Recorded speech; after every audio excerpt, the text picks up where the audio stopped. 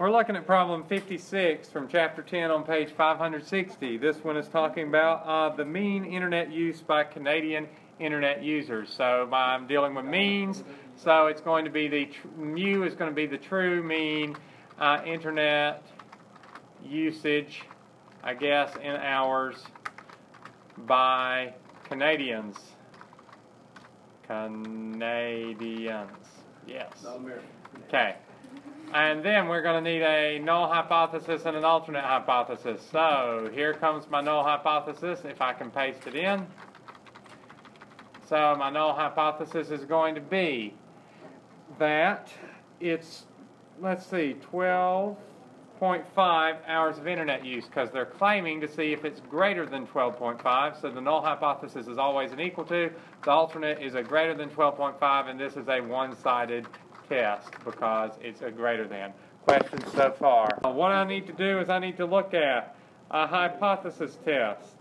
Uh, so I'm looking for a test for means, so I need to see if I have a simple random sample. And it does say that uh, it's given that I have a random sample of Canadian Canadian uh, internet users. So that is given. I, it also given my sample size is large, so I can say since my sample is sufficiently large, uh, because um, n equals, let's see, what was it, a thousand? Yes. Is definitely greater than 30. I'm going to get all that on one line, I guess. Um, that means the central limit theorem sugge- uh, states that the sampling distribution of the sample mean is uh, approximately normal. But since I don't know uh, the population standard deviation,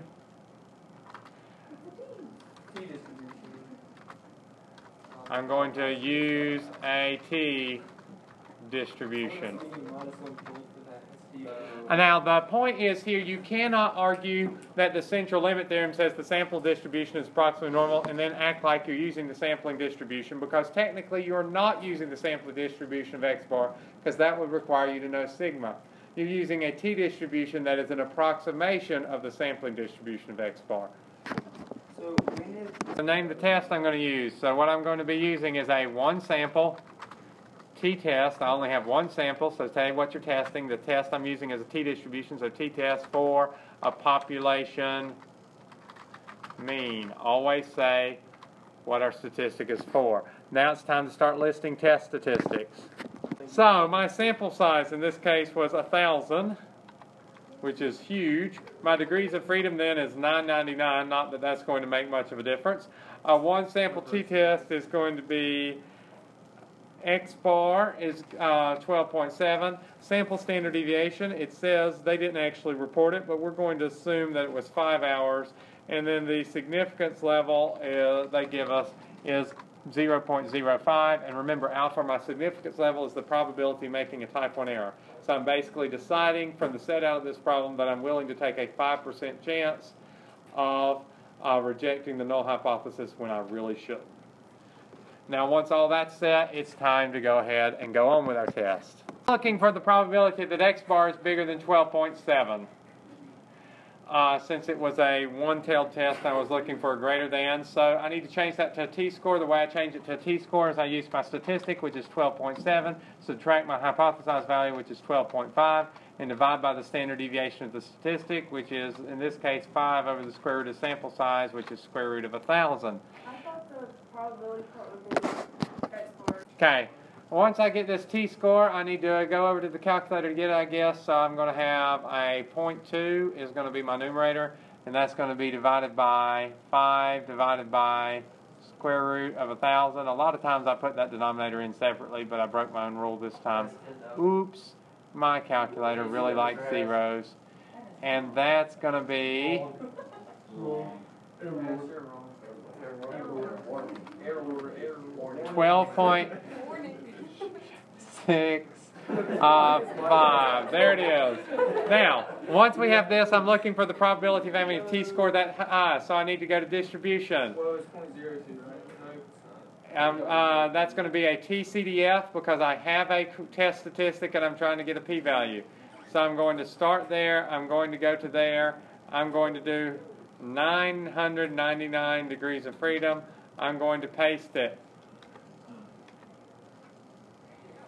And that's going to give me a value of 0.1031. That is my p-value. That means if I were to sketch a distribution, I would be looking at the probability that I would be more than one standard deviation above the mean, which would be basically about there. So that is what I'm getting as my uh, 12%, I mean my roughly 10% there. So the p-value is the probability of having a result this far off if your null hypothesis is correct. So if my null hypothesis is really tw- um, 12.5, I have a roughly a 10% chance of being 12.7 or higher. My p-value of 0.1031 is gr- uh, not less than my alpha of 0.05. What I'm going to do is I'm going to reject my null hypothesis. Oh, it is a fail to reject. Be careful. Fail to reject my null hypothesis because it was not less than alpha. I failed to reject. And that means I'm going to say there is no statistically significant evidence that the um, true uh, mean internet usage by Canadians is over 12.5 hours.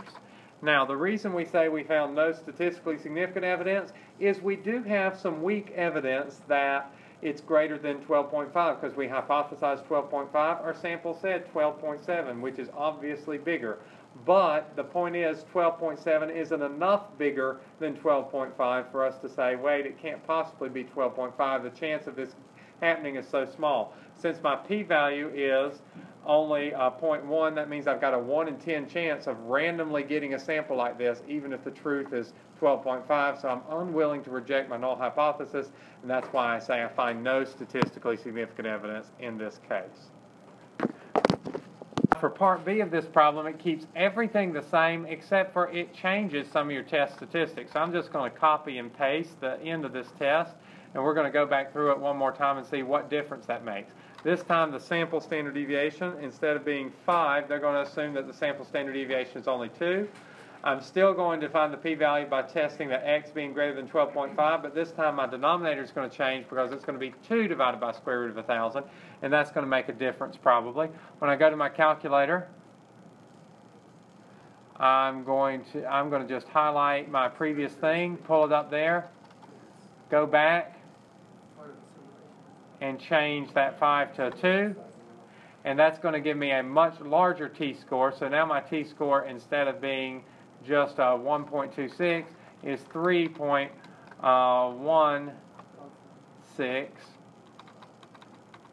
and then I'm going to find a p-value, I'm sorry, a TCDF again. Actually, since that's now my previous answer, I could literally just pull up the one I had, and it's going to plug into 3.16, and that's going to give us a much smaller p-value. So this p-value now is 0.0008. That e negative 4 will tell you how many zeros are in front of your numbers, including the leading zero in front of your decimal. So if you count the leading zero, there's a total of four zeros in front of that 806. So that is a very small p-value, so I'm going to have to change my conclusion. Since my p-value of 0.0008 is less than my alpha of 0.5, this time I'm going to reject my null hypothesis. That means there is statistically significant evidence that the true mean internet usage by Canadians is over 12.5 hours. I think part of the point of this problem was to demonstrate the effect of the sampling variability on um, getting your um, t-score and your p-value and making your decision. So the amount of variability that's present in a sample, if you have a sample with a lot of variability in it, it's going to have be very hard to find statistically significant results. If you can find a sample that's a little bit more condensed, it'll be easier.